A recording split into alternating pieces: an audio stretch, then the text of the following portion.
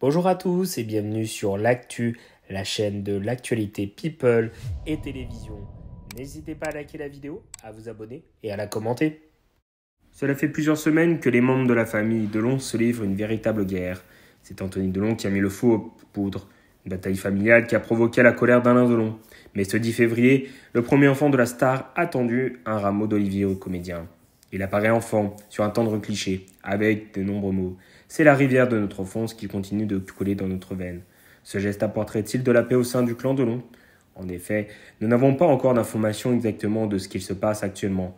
Mais par la voix de l'avocat, pour les dernières informations, c'est que ça le serait aux mains de la justice de décider du cas de Alain Delon et de sa santé. En effet, il serait encore trop rigide pour pouvoir faire ses propres choix.